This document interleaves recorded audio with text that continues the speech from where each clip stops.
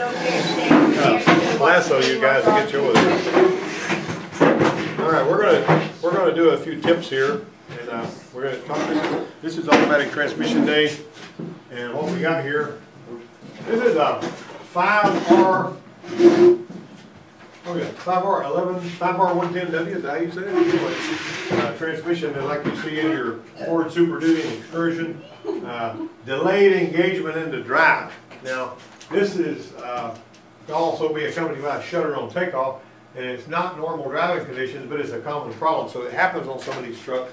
And So, it occurred enough times that the ATSG produced a bulletin about it in two thousand eight, uh, and that recommended using solid endless style Teflon rings, like you use on a four L sixty E pump stator, support for the forward clutch drum instead of the five, uh, the step cut rings that that drum uses. Now, the step cut rings, you know those little steel rings that's, that's cut on the ends where you gotta lock them together? And then, like y'all may have seen them when you did the transmission work.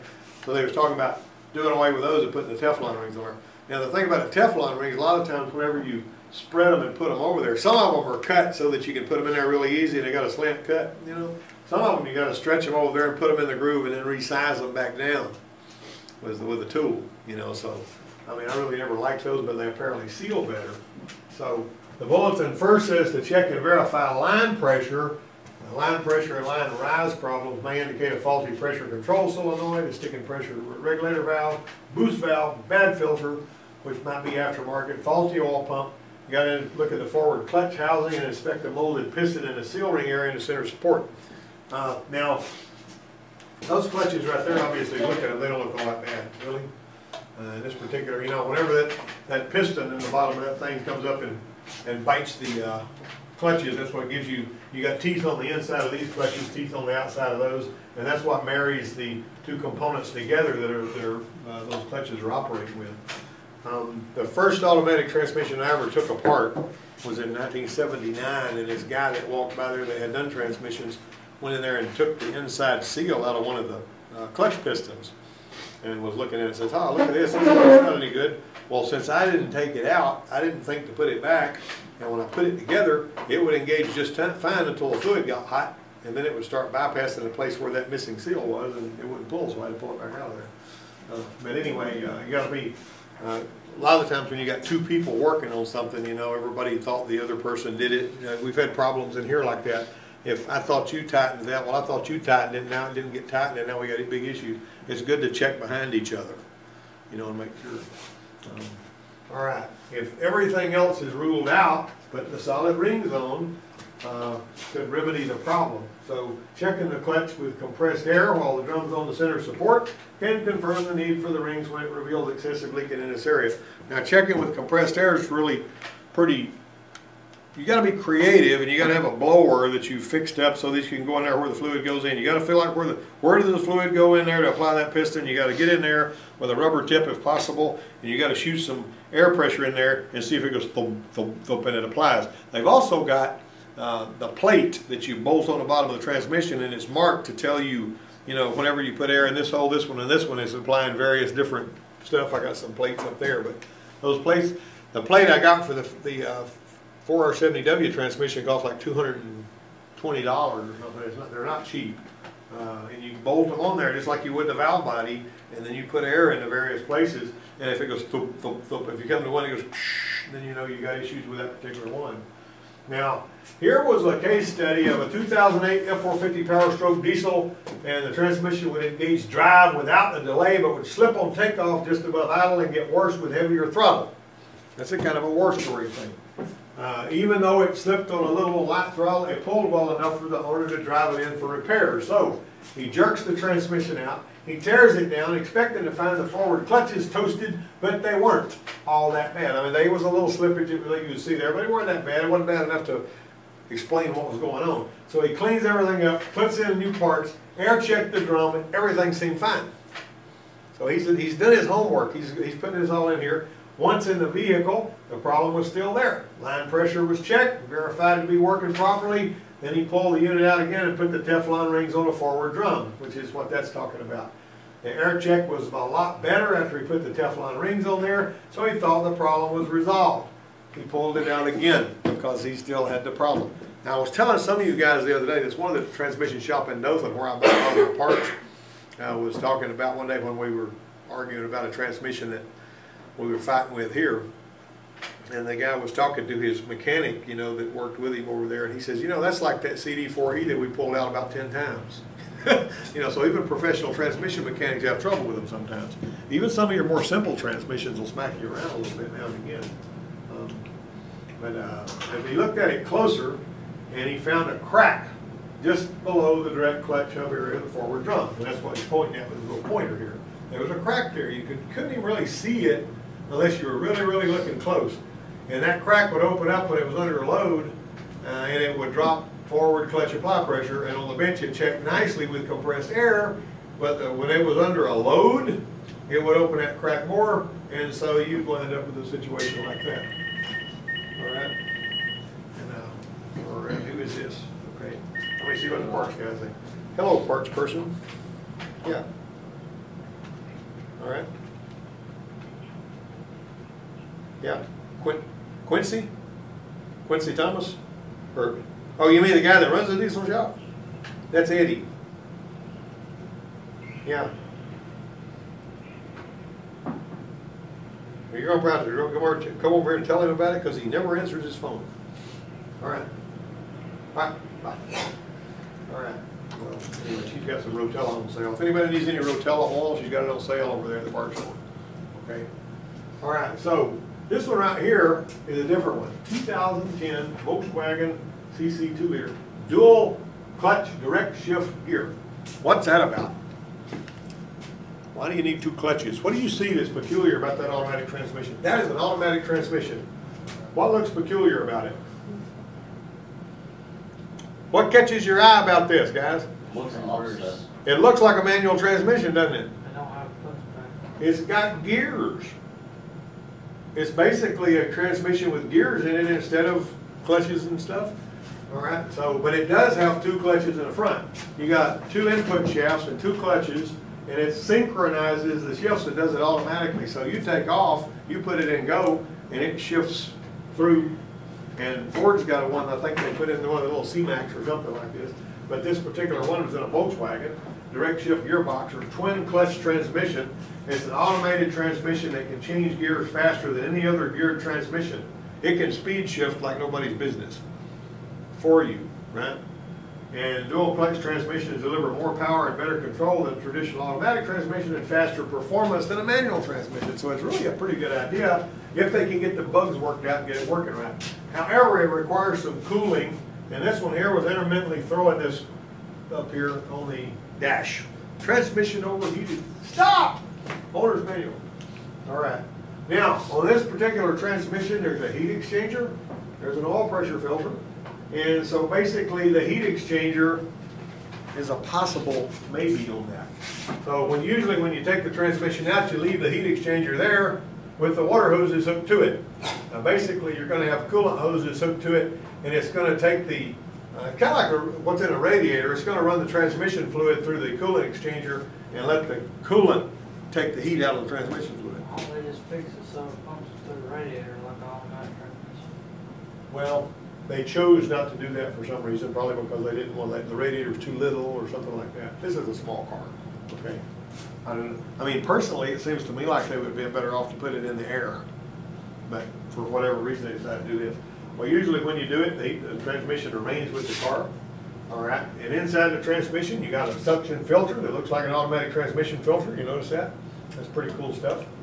All right, this right here, fluid's routed through the heat exchanger. Can you find me the heat exchanger on that schematic up there? Somebody find it for me. An external cord. Very good. That wasn't too hard to read, was it? And, uh, you know, of course, it's got those lines in there that, you know, sprays it around in there. And then you got your sump and your internal filter. That is basically, this is a schematic of what's actually in there. Uh, get a little damper piston there, coolant pressure solenoid. And it's basically got some little electronic, uh, driven, electronically driven forks that do your shifting for you, but it has to, you know, release one uh, clutch while the other one is still engaged and then, you know, to synchronize the shifts and all. Okay, so once that passes through the filter, have anybody ever heard of, seen a, uh, driven a, uh, Volkswagen Bug that had a stick shift automatic? you had to shift the gears, but it didn't have a clutch. And when you put your hand on the gear shifter, it would release the clutch. It had a torque converter, but it had a little clutch back there with a vacuum motor pulling it. And it was only a three-speed, it had, you know, it had, you know, three forward gears, one reverse gear. And I had one of them things, I didn't like it, but it just had a, you know, instead of a clutch in the floorboard, it just had a brake pedal down there. And so when you put your hand on it and you put it in gear, as long as you had your hand on it, it wasn't pulling, but when you let go of the gear shifter, it goes and then you take off. And then when you put your hand on the gear shifter, release that little clutch back there with that vacuum motor, and you just shift it without matching a clutch. Happened when you wanted to stop? You put your foot on the brake and stop, and put it in neutral. Right? Obviously, you had to. Yeah, it wasn't gonna go to neutral ISL, you had to put it in Well, neutral. I didn't know if it was like an automatic transmission. No, it wasn't, uh, it was a, it's what you call a stick shift automatic, the only thing that meant was you could, you could shift it without using a clutch.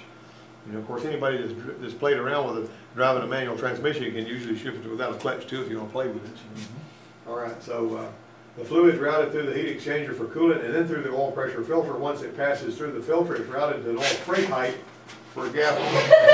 Giant fucking Yeah, I saw that spider. was a giant spatter invasion you had going on there. Holy crap. Yeah, you can put black walnuts uh, around the doors, and it's toxic, toxic to spiders, and they won't come in, that's what I heard. Yeah, it's huge. I don't know if it's true or not. But, uh, the oil spray, I'm sorry about that. I did not plan that spot for that spot, they're still trying to walk away, They need to kill him. All right, so route an oil spray pipe for shaft and gear lubrication, okay, that's what the filter looks like. See that? You like the filter? Is this a good filter here? I don't like it. That's a mess, isn't it? Okay, the heat exchanger was gonna be removed for the transmission, but what they happened, that entail disconnected the water lines, and they're gonna remove the oil pressure filter, but it was loaded with dirty fluid, and the filter material was deteriorated, and that's why I was overheating. So, people just ignoring the filter is not a good plan, is it? Right? That particular filter right there. Okay, so there's a TSB from Volkswagen, another one concerning an implausible transmission shift sequence DTC twenty-seven eleven stored in TCM, uh, thirty fourteen dash oh three. That will be accompanied by shifting concern and, or a no engagement when in drive reverse. And debris in the clutch assembly, see this, and this is the same, you know, deal, same, down see all them clutches? Got that little clutch thing going on there? That's what's up with that. Uh, Causing too much drag torque from the multiple clutch. Explains if this is the only code stored vehicle having over nineteen thousand miles, the dual clutch drum assembly and uh, cover will need to be replaced, and you can see what it looks like right there.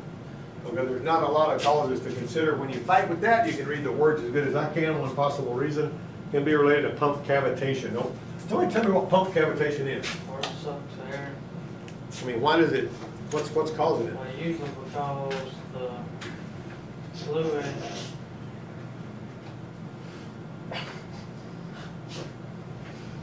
Something happened back there, but, you know, usually because like, say you're on like your filter, somebody don't put the O-ring on it, and then it's, the fluid's below it, you know, and then it's sucking air.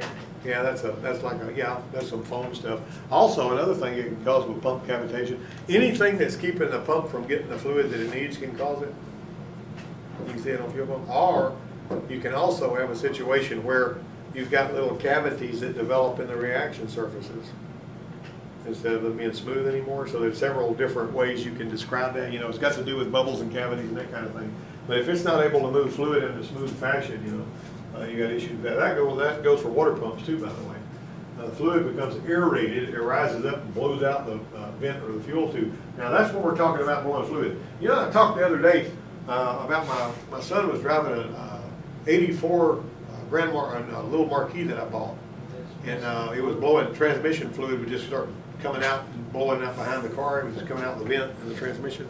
And uh, we put a modulator, modulator valve on it and a transmission, Change the fluid, put a modulator valve on it and put a transmission cooler in front of the radiator of one of them uh, that just is in the air, and that took care of that.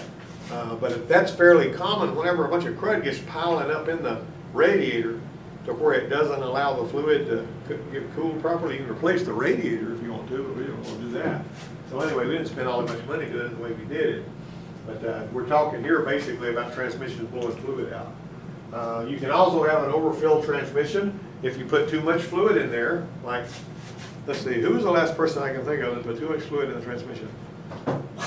look at all those fingers pointing around, oh my goodness, you know. Well, I mean, he really hadn't been trained on transmissions yet, and so what he did was, all of the fluid that he got, he just basically said, well, I've got seven quarts of fluid, I'm gonna pour seven quarts of fluid in there, well, it didn't even five. And so he just kept going pour, pour, pour, and it was basically this far up this thick and, you know, but it will puke out if it does that. Except, except, did you guys see the little handout I gave you about filling the transmission fluid on one of those little three two Yeah, yeah, that was stalled. It'll make it hunker down if it's got too much fluid in it. And a lot of people don't, it won't, that one doesn't push it out the vent, huh? What car is that? That's a little, like a ninety-nine uh, Malibu. Was that that lady that you said took her car to where couldn't get it fixed, brought it here, it was, We drained the fluid out and fixed it, yeah, I mean, we drained a couple of quarters. Matt, my son drove one of those cars, he took it to get an oil change, somebody poured a bunch of fluid in the transmission it didn't need, and when he drove it away from there, it wouldn't hardly go. but you're, sa- I think you were saying that the problem with that, or not the problem with that, but most other transmissions have a vent like it. Yeah, yeah, it'll blow out of there. Yeah, You know, but there it'll blow no- out the vent. That's usually what you see. Well, fleet accounts where the company owns vans or trucks of the same manufacturer, but different engine sizes and transmissions. They think they have enough much oil goes in there, but they do. Now, U-Hauls always have, typically, the U-Haul vehicles I've seen have got a drain plug on the transmission. And some vehicles have drain plugs on the transmission, some don't. But they change the transmission fluid after every time they rent it if it's been pulling a trailer. Because the fluid gets dark and ugly and starts to cause valves to stick if they don't, so they just change, they just pop the plug out and change the transmission fluid like you would engine oil on those. So, but anyway, Like every couple times or every time? I guess, I don't know, I never worked at U-Haul, but I know they have them, uh, the U-Haul trucks have got, you know, the ones I've seen, have got a drain plug on the transmission. Now, that GMC does, and some of your foreign cars do, and all that. But, uh, the torque converter, listen to this now, uh, malfunctioning torque converter, which is where the heat comes from in a transmission, uh, can have the problem that where converter clutch, problem hydraulic circuit, the converter, converter clutch. Now, on the motorhomes that I worked on, the great big motorhomes that, that basically, uh, would, you know, huge ten thousand pound things that you see people driving around, um, the torque converter clutch engages on those at twenty-two miles an hour. That's the strategy that they got built into that, uh, control on that. And, uh, basically, whenever they engage the torque converter clutch, uh, what, what happens, why is it that engaging a torque converter clutch makes a difference in temperature, you think? Will it get hot quicker if you engage the torque converter clutch, or, or not as quick? I would Not as imagine so. quick because it wouldn't be as much slippage. Yeah, you're, well, you're not gonna have, you're not, you're always shearing fluid, so it's not gonna build it up, it's not gonna heat it up as quick. You know, so basically they're concerned about a, a lot of fluid shear on those apparently. So anyway, uh, I found that out working on the Novo motorhomes. We was riding, I was riding with this couple one time, that was an old, you know, people a lot of times would ride with them. When you get in those motorhomes, they always smell like a dog, because they always got a dog with them, you know. So we'd get in there, we'd drive around, and I would be trying to troubleshoot a problem, we'd pull back in around where the body shop was, and there was all these smashed up cars out there. I think got a high volume body shop over at. And when I pulled back in there, one of those, uh, they were from up north, and one of them says, what's all these smashed up cars around here? And I said, this is the cars I smashed up driving motorhomes. Anyway, they knew I was just kidding, so. One of the motor, the filter and main pressure line control can can be a contributing factor. If main line pressure remains really high, that's gonna restrict or shut off converter flow and generate high temperatures rapidly, because it won't, you know, go into lockup. Uh, cooler bypass valves are another possibility. What in the world we need a cooler bypass valve for? Why do we need a cooler bypass valve? In case the cooler starts up. Yeah, we want it to bypass, we don't want it to not be able to get any fluid anywhere, right? We want it to still be able to go. Uh, These can be located on the transmission, somewhere in the cooling line between the transmission and the radiator, or they can be in the radiator itself. And when they malfunction, they prevent the transmission fluid from being cooled by the heat exchanger. Also, the eighty metal Ford pickup that I had, when I parked it, it was slightly uphill. I like to park a pickup truck. If I got a pickup, I park it slightly uphill if it's gonna be sitting there a lot, because when it rains, I want the water to run out of the bed, right? I don't want it to puddle up in the front. So what I did, I parked it like that. When I cranked that eighty model F-150 up that I used to have, it had a C6 transmission in it, it would uh, sit there and I'd have to run it for a minute or two before it would get pressure and what would happen was, when you shut it off, uh, and it was slightly on the uphill, it would siphon all the fluid out of the torque converter, and it had to fill the torque converter up before it moved. That was a morning sickness thing, as they called it. But anyway, what I would do is I would take the, I mean, what they do is they take a little uh, one-way valve and put in the uh, lines going to the, from the cooler. Now, when the, when the transmission cooler, when the fluid leaves the transmission it's leaving the torque converter, and when it comes back to the transmission after it's gone to the cooler, it goes back into the pan, right? And so that's basically how that does. Uh, But anyway, this is another thing you got right here. Radiators and heat exchangers can be another cause for transmission overheating if the cooler flow itself was restricted where it couldn't pass through the radiator or the heat exchanger. You know, if you got hoses that are pinched or something like that, that would negatively affect the loop, causing catastrophic failure too. So another issue uh, is the, if cooler flow is perfect, nothing wrong there. The coolant passages though, instead of restricted for preventing the coolant from extracting heat from the transmission fluid, you can have all kinds of stuff externally clogged up about a transmission cooler if it's one of those kind, that can make it not happen. And so there's a lot of stuff uh, that's from uh, the finer points, like, see, you can read that right there. Uh, This one example, Mitsubishi had problems with their Montero overheating when under heavy load. They provided an expanded capacity uh, automatic transmission oil pan kit to resolve this issue. And it had an expanded pan, a larger oil filter, and a lengthened dipstick. Have you ever seen a transmission oil pan with cooler fins on it? Sometimes you'll see those. Then you had, uh, the sump would run low. What's the sump? Suction pump. Reservoir, Huh? Huh? reservoir, reservoir. Yeah, that's the place where the pump gets its oil, right? It's in the pan, right? Uh, But if it runs low on coolant, I mean, it runs low, not coolant, but transmission fluid, you got issues there. Uh, That is a comprehensive list, it's gonna be really, really hard to make on that. But overheating transmissions can be something that can beat you up if you're not thinking clearly all the way through. And you can have a new cooler, and you can have new this, and you can have clear lines and good flow and all that kind of stuff, and still have problems because of your torque converter or whatever, that's the point about all that. Okay, so that pretty well is uh, handling this. You're gonna have your uh, uh, car ready to drive this afternoon? All right then. If you can keep working on it, huh?